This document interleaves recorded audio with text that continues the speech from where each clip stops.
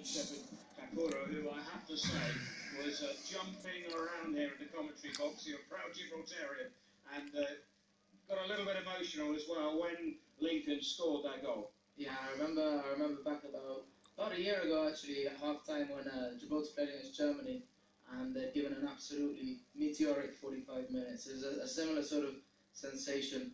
Um, just, just look at these stats here 76% possession for Celtic, 12 shots, but Lincoln had 8 shots at goal. well, exactly. It's not. It's, it wasn't a complete sort of backs to the wall job as as a lot as a lot of people would be been expecting. So, you know, credit to them. What are you expecting now from Lincoln going forward? Because they've got this now massive game in Scotland. I mean, this was the biggest one in their history.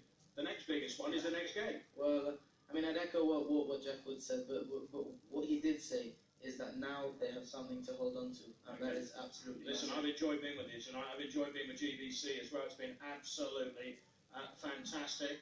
I'm Paul Green Turner, and uh, Robin Shepherd, you've had a great time as well. And the whole of Gibraltar will be celebrating tonight. The final score here at the Victoria Stadium, an historic Lincoln 1, Celtic nil. Bye bye. Good